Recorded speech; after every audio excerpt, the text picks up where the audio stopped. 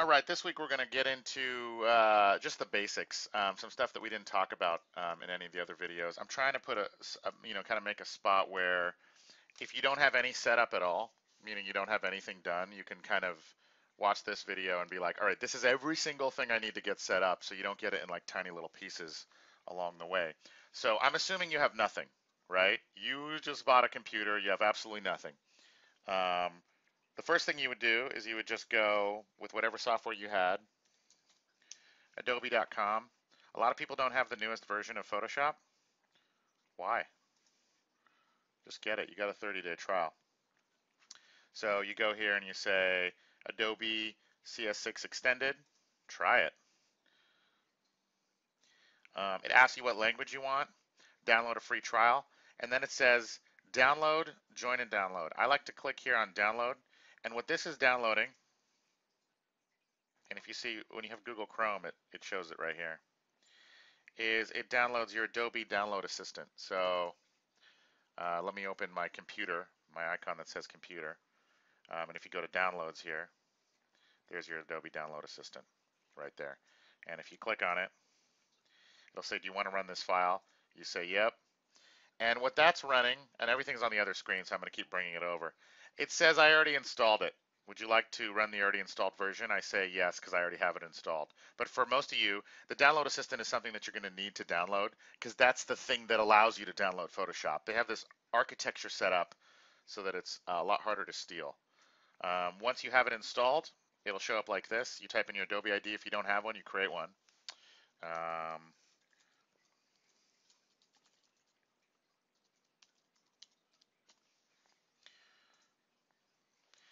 click sign in because they want to keep track of everyone who's downloading their software. Um, and so now you think you've started downloading, but you haven't. You're just in this Adobe Download Assistant. You go down here to Photography. The first one should be Adobe CS6. You hit download. It asks you where. Um, you can throw it on the desktop. And most of your trial, I should be teaching novice. I need help, baby. I still need help. Um, and here it is. It's saying downloading 1,152 megabytes. It's about 20 minutes.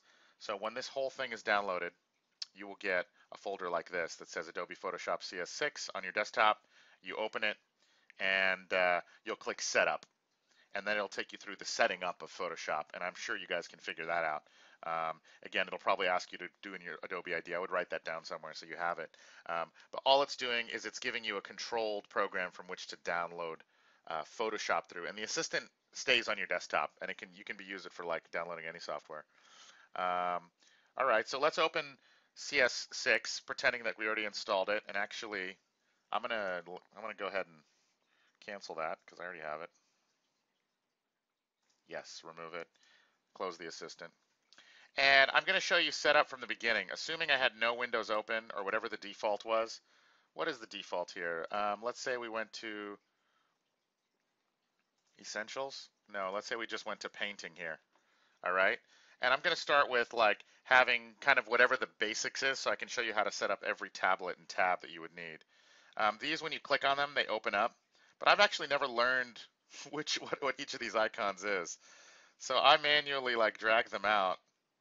That's clone source. I don't need that. I'm going to close every single one so that I can show you. Go down here to close group tab, close group tab, close group tab, so that I can show you if I had nothing up, what I would do to pull up all the windows that I need for painting. I would I would go here, and uh, the first one I would pull up is brush.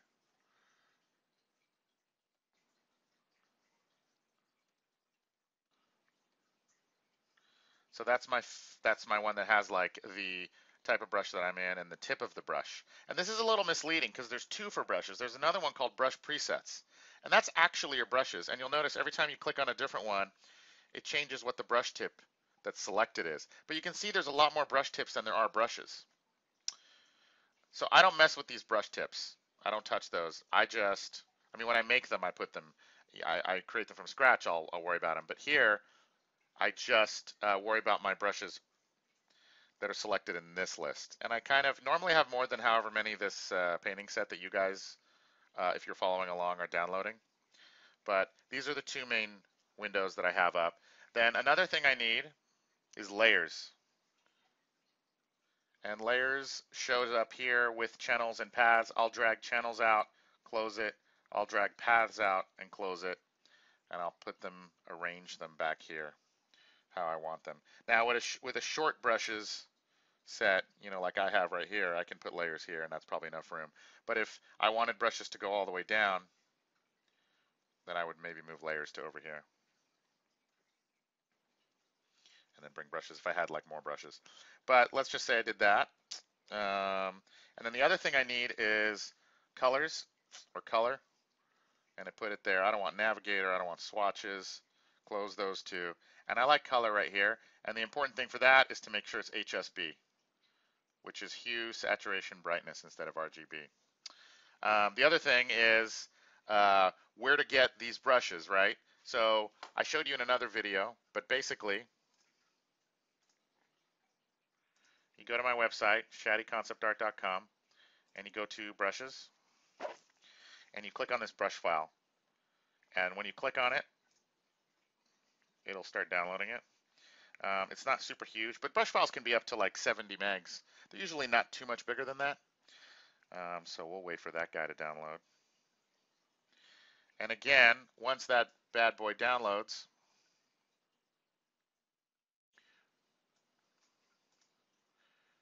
you will find him in your downloads folder.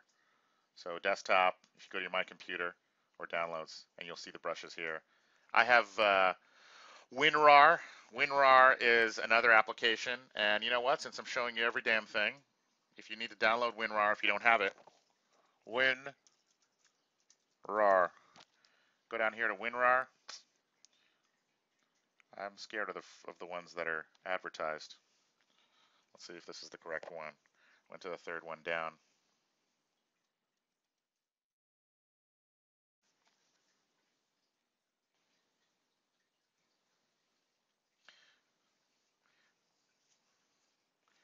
Yeah, definitely not the not the uh, sponsored link. Download WinRAR. Get it free. Put your contact information and click continue, and it'll be free for a while. Uh, but that's the program I use to kind of unpack just about everything that comes compressed instead of WinZip. I think WinZip makes you pay. WinRAR stays free for a while. Um, okay, so when I when I'm in WinRAR, I click, I double click on that. If I go back up, you can see when you double click on that icon, when you double click on that icon that's downloaded, click on Shad Brushes, and uh, it'll be right here. Shad Brush Wire Leaf Gamo Set. And you know what I do? Because I'm kind of a simpleton, I just like to drag this thing onto my desktop. So assuming I did that, I can close that, close that. Um, I dragged it onto my desktop. And there it is, Shad Brush. And when you click on it and you do properties, you can see that it's an ABR file. That's what the file type for brushes are. And I have actually a folder full of brushes, and they're all ABR files you can see right here. And I just keep my favorite brushes here in this uh, ABR file folder. So then from Photoshop, let's say I reset brushes. No, I don't want to save them. So this is what Photoshop started with, is this set when you first loaded up CS6. So what I like to do is go here, go down to replace. I don't want to append or anything else. I want to replace them. And I find Shad, Brush, Wire, Game of Thrones, Leaf plus Cloud. Bam, and it replaces them. If you add it to it or you don't replace or you just say load, it'll tack them onto the bottom. So then you'll have all the ones that are there plus the ones on the bottom. So you can keep stacking brush on brush on brush. Um, I don't like to mess with that. I just like to replace them entirely. Um, the other important thing uh, that is nice to, that is really important to my workflow that I didn't talk about at all, but it's super critical, was the way my tablet is set up. Um, so I have a Cintiq 22HD. When you hit this button on top, it shows you how you have everything set up. And you'll notice I'm left-handed, so everything on the left side is disabled, and everything on the right side is uh, has the button set up because I use my left hand to draw. Um, and the pen has stuff on it too. So let's go to that setup. I'm going to go Wacom, open my Wacom tablet properties, and let's see if we can get there. Actually, I don't go there the hard way very often. I don't know how to get there the hard way. But if you can find your control panels which I'm sure you can do on your own. Just type in control panels. Wacom tablet properties. Assuming you've already installed the drivers for your uh, for your tablet. If you have an Intuos 4 or Intuos 5 or any kind of Cintiq, it'll do. I think the Intuos 3 will work too, but a Bamboo or any kind of tablet, I wouldn't use. I don't recommend them, and I don't I don't allow them in my classes because part of what makes painting your painting flow happen is the ability to set up these buttons to have hotkeys because they instinctively become part of your workflow. Now you're using two hands instead of one hand. And a lot of people like to go to the keyboard, but you can have your hand over here on the right side. You can hold your hand right here. Your thumb is like hovering over all this stuff all the time. And then your other hand is just kind of moving around where the pen is. And that makes it so much faster. So you'll notice the left side, I have everything set to disabled, and the right side, I have all my stuff set up. And I set it up a very specific way. And if you're following along and you want to, I think you should set it up this exact way and at least try it out. And I know everyone has their own ways of setting things up, but I think this way is just generally pretty awesome. Um, and just try it out, see if it works for you. And if you have tweaks to it, changes to it, um, the bottom four I think are critical. The top four you could kind of do what you want with. This is just what I like. Um, all right, so for the right ones, going through these. And if you want to know exactly how to set these up, also on my site here, there is a page you can download that shows exactly how the setup happens. Now, this was on a 21. This is on an Intuos 4. And right now I'm doing it on Cintiq, but it's the same kind of thing. Four buttons, four buttons, and there's a touch wheel. Um, this one has a slightly different system because the touch strip is on the back, but it's basically the same idea. So you can kind of see exactly how I set up. And I even have the setup here for an Intuos 3 because the buttons are laid out a little differently. So if you can grab that, you can follow along, but I'll show you exactly what I did. So this top one here, modifier, and then I click on the Alt button. Now the weird thing about the Wacom is you can type in custom things for each one, but if you want it to be Alt, Shift, Control, left, middle, or right click, you have to do a modifier. You have to select modifier. Whereas for the next one, I'll show you. The next one is a keystroke. You click keystroke and you can set it up to whatever keystroke you want. Now you hit clear. Now any button you accidentally press will show up here and be a part of the keystroke. So you can't type anything in except for exactly the thing you want. Like I'm holding down control right now and it's not showing up yet. But as soon as I hit Z, it does control Z, undo. Now if I cancel this, let me see what I had it before. Control Alt Z is what I want.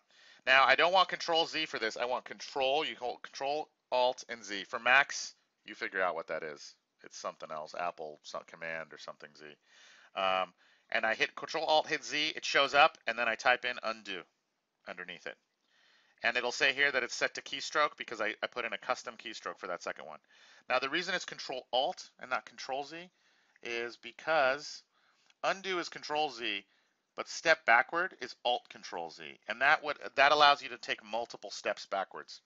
Um, I'll show you as I go. Let me open a file right now.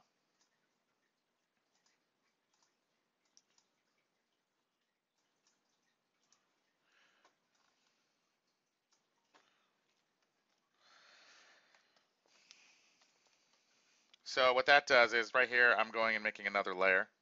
I clicked on this button here to make another layer. Um, and I'm, you see the brush getting bigger and smaller? That's the touch strip, touch strip on the back. You'll see that in a second. But uh, the, the reason I did undo there is because that's at 40%. Let's make it really dark. Let's make the color darker. So if I go stroke, stroke, stroke, stroke, stroke, and then I hit undo, undo, undo, undo, undo. And so I, as, the many times I hit the button, the more things it undoes. And so that's why I want it to be uh, step backwards, because that continues to step backwards instead of just undoing one thing. Got it? Um, the next one down after undo is redo. I go to keystroke, and that one is Control Shift and Z. You hold down Control, you hold down Shift, you hold down Z. On Mac, it's Shift Command Z maybe, and then you type in to here. You got to click on the separate field. If you keep typing, it'll obviously just throw more junk in here, and click Redo. Then the bottom one is another keystroke that's grabby hand, and I like to put space, and I just it's just spacebar. Okay. Now the reason I do that because it has one I think that is pan and scroll, but I don't like pan and scroll. It does the same thing as grabby hand, but it does all this unnecessary animation and bullshit. I don't want any of that. I just want grabby hand, which is spacebar. Now, the way this practically comes into play is you're not seeing when I was painting what buttons I was pushing. You weren't seeing any of these four buttons that I was pushing. But imagine that my thumb is hovering all the time over Alt, Undo, Redo, and Grabby Hand. It's just hovering over these four buttons all the time. And so now if I tell you, if I narrate while I'm painting, um, right now I just hit Alt, and Alt gives me the color picker. That's why we selected Alt. So that what that allows you to do is if you're picking black from here and you're painting into this, let me pick something that has a little bit of like translucency to it. And let's say I wanted to blend this color into the neighboring color. Again, Alt is right there at my thumb. Hit it again, grab that color. Hit that again, grab that color. So it, what it allows you to do is it allows you to blend because you'll watch how quickly it goes to the color picker constantly. It just goes to the color picker for a split second and it allows you to get those in between colors instead of having to select them up here. So Alt is just the most critical hot button that I use. I use it for everything. Um, and then undo is undo, undo, undo, undo, undo, undo, like that. And I have about 20 steps of undo. You can set it to more, I think, but I'm not going to do that. I like 20 is fine. And then redo, redo, redo, redo, redo, redo. And now a lot of times you see me move around the image, and what that is is grabby hand. When you hit that spacebar button, again, right here, grabby hand, I hit that spacebar button, that's hotkeyed here, I can move around the picture. Um, the zooming in, I'll show you in a second too. So then the next thing is uh, the top buttons. Now the top one, the first one at the top here, I like to go to modifier and say it's shift. I think shift is good because oftentimes um, I like to hold down shift and again, I'm imagine you're not seeing it, but my thumb is hovering here over shift. Um, it gives me straight lines when I hold it. Doing alt, select a different color, hold down shift. I'll show you that in a second. Um, so that's shift. And that's why I like it. Um, it just gives me straight lines, which I occasionally need. Um, the next one is I just is a new one that I started setting up. I'll go to keystroke. It's just the X button. Um, it's called swatch swap. And I really just wanted to name something swatch swap. Swatch swap. And then you go here to the element. Uh, the reason I like swatch swap and what it does is, is let's say you have a layer mask on something, which is this button right here and we talked about it a little bit, but what the basic element of it is when you when you look at what happens to these two swatches. When you click on layer mask, these two become just black and white because black, as we know, erases. It erases out of the layer, and if you paint with white, it comes back in. So layer masks were a great way. We showed on that painting, uh, or on the painting we're going to do, and all the time how it's just a safe way to erase. Um, and instead of going over there and clicking, you can just paint in, erase out, paint in. If you had like McNulty in there and you were painting and you wanted to not go to the hotkey, you see me not going over there, but you see him switching because I can go from from paint in to erase out. So it switches those two. It's basically just to paint and erase out of layer masks quickly. Um, so that's swatch swap. Next one, mode. Now mode is not a huge deal, but it's a little annoyance. It's the letter F, and I call it mode, and all it does is switch between the three modes that Photoshop can display an image. This one where you can see the tab, this one where you can't see the tab, and this one where it's black uh, all around. And the main reason you need this one is because a lot of times you have multiple images open, you'll see all the tabs up here. But on this one, on this mode, if you hold down, if you hold down uh, grabby hand right here, and you're trying to, you hold on grabby hand, you want to move it around, I'm clicking it down, it's not moving around. You have to hit mode to be in this kind of move around mode. For some fucking reason, it's, it's super annoying. So that's why I have mode always set to that. Um, and then that last mode, I don't really do anything with. I mean, it also has move around, but I need to see my, I need to see my um, all my stuff, so I never have that one set up. So that's mode. The last one up here is keystroke Control M, and that's curves. And what that is, is this right here, is Control M, the curves. And the reason, now it says here layer one mask, what I want to do is cancel that and put it right here. Actually, I'll just go to the layer that I'm on. Um, But yeah, the top one, this very top one right here, is the hotkey for curves. And when it brings that up, it allows you to change your colors. The RGB is moving all the colors lighter or darker. The red just moves the red more or less red. So above is more of that thing, and below is less of whatever this the word is. Um, green, same thing, more green or less green. And then blue, more blue or less blue. So let me cancel. Um, and the cool thing about curves too is like, let's say you want um, more red in the highlight, but less red in the shadow. You can move it up in the highlight and actually tweak this so that the shadows are cooler and the highlights are redder. So you can adjust the colors and here you can see you can see where like this gradient works. This is affecting the light areas, this is affecting the medium areas, this is affecting the dark areas. So on the graph where these two things meet, that's where it affects where it shows kind of what it affects. Like you want the highlights to be less red, the opposite of red is green, so they'll get more green, and then you want the shadows to be more red. Um, it can get gross really quickly, but um, it's a good, if you only use, and if you want to make these go away, you just drag them out of the screen if you only have one, because sometimes you get too many and it becomes cumbersome and annoying. So you just drag them off and they'll go away. Be back down to one. If you take them all off, there'll be nothing there. So I use that for all, all my all my adjustments. And you see the red one stayed, and now the RGB one is good for making it, whoops, see I accidentally added an extra one, is good for making it darker and lighter. So that's curves. Um, and then one of the most important ones here is grip pen. Now this one I have zoom in and zoom out, which are um, super critical to have on the pen. Now this one gets the most guff. People hate this one. If they if they're used to having their right click or whatnot on zoom in, zoom out, they really don't like this one. But this is what I do. I do keystroke, control minus, which is zoom out. And on the other one, I do control equal. Now, if you look at your keyboard, equal and plus are the same thing.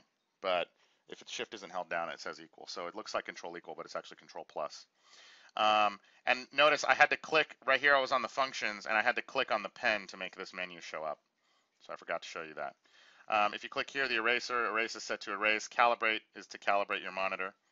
Um, um, but yeah, and another thing to keep in mind about the functions, if you have a Cintiq or an Intuos 5 or something that has two sets, make sure the right one is selected. Because if you click on the left set of buttons, because you know I have two sets, I have ones on the left and right, and you do all that work, you set them up for the wrong buttons you don't use. So make sure right is selected. Another thing that um, older Intuos tablets, the, like the three don't have automatically, but the new ones already have automatically, is this touch strip kind of system. And the way the touch strip system works is they have this button on the side, and the Intuos has a button in the middle of the wheel that every time you click on it, it cycles between one of the different kind of modes. Now, the cycling happens so slowly that it makes it useless except for for one. You can't like be clicking cycle and then go on to the next thing because it takes a second to register that you switched modes and by the time that happens you're like over it. You can't use it in a workflow. You can't use more than one of these in a workflow in my opinion. So I click so that it's on brush size. Oh, and I lost my Wacom. Let me bring it back. Oh no, here it is. So when you go to touch strip here, it's saying the touch strip for me is on the back of the tablet. It's not on the front of it. On the Intuos, it's the wheel, and on this one, it's a strip. And the third one, everyone is set. The first one is set to auto scroll zoom, which I don't care about. Cycle layers, totally useless. And brush size. Now, they just manually did it for you by default, but basically, if you go to keystroke, you can see bracket up and bracket down. Now, if you move your touch strip and it's going the wrong way, like you want moving it up to make your brush bigger and moving it down to make your brush smaller, then you just switch these. You know, clear and then do right bracket instead of left bracket. But if you like the way they're set up, then do one bracket, two brackets. Sometimes back in the day, I would put two brackets in a row. That would like make it scroll even faster. And I'll type in brush size. This one is absolutely critical. And I use this one all the time. Oh, wait, I just made the mistake I was telling you guys not to make. I was set to left and I needed to be set to right. Anyway, it's by default set up, so no, no big shakes. But that one is really critical because that, if you'll notice, you see how the brush is getting bigger and smaller? I'm using the touch strip all the time for that. Now, a lot of people like to use their pen for brush size, Or they like to hold down right click and do a scale, which I just never have done. It's not a bad way to do things. I just don't do it that way.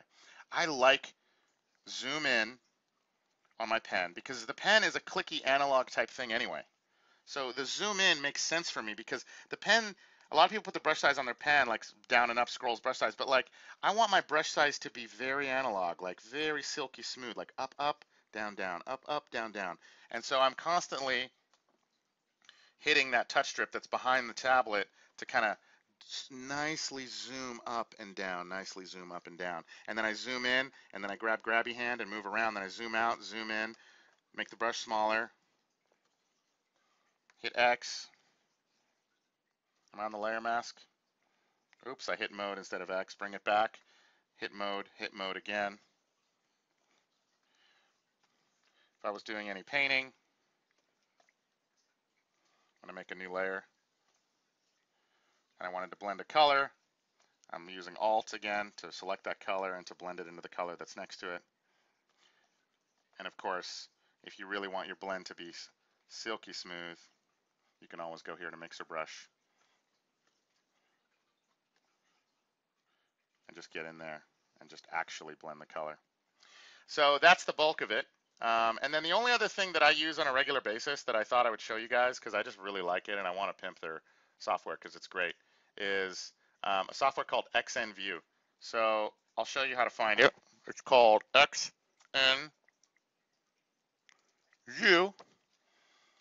Um, and it should show up as the first one, free graphic photo viewer and converter. I just really like this software. It looks a little bit ghetto because of the, you know, whack fonts and stuff, but click on English if you're English. Click on the top one here. And don't click on this. They all have these like fake ones. Click here for download. And then it says, which one do you want? 7, Windows, or Mac? I want Windows 7. And then you want zip file or setup. I, I do download setup. And this program, once it downloads, you can install it, is so awesome because I just really like it for the way it views photos. Let me see if I can find a nice photo folder that um, would have some cool stuff that we could look at.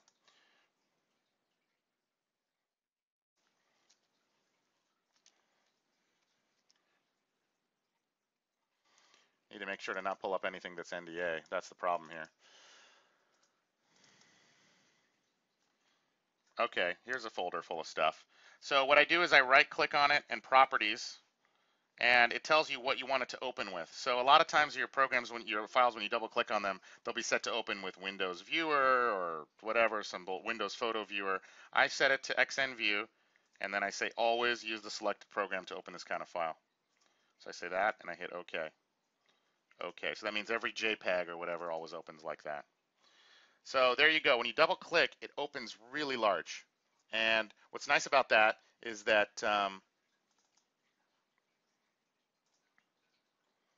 is that when you're on here, um, it's a you hit spacebar and it just scrolls through photos. If you double click on anything, it like it opens up the folder that it's in. You have all your folders right here. If you click on anything up here and use the arrow keys, the arrow keys like kind of cycle down and around and you can like go through and like find different you can just kind of move up and down and along the grid.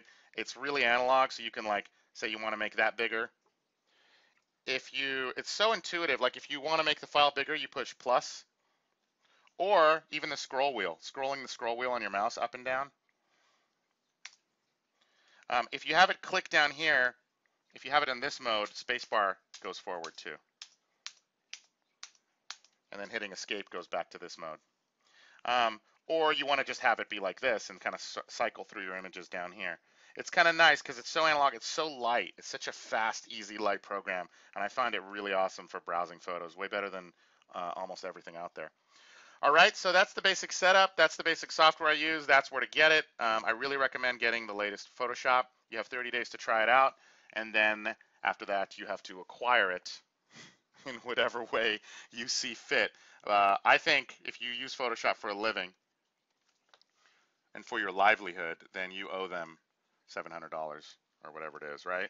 I mean, if you're paying for art school, you're absolutely silly to not be um, not be not be paying for a full version of Photoshop. Just get one, or you know whatever. Fine, get get it however you need to get it, but make sure you have CS6. I think it has the mixer brush tool and a couple other things, and the gray interface makes it a lot better and a lot more useful. Um, and uh, thanks for listening, guys. Uh, email me here. Let me know if you have any questions about setup, and we'll see you next time.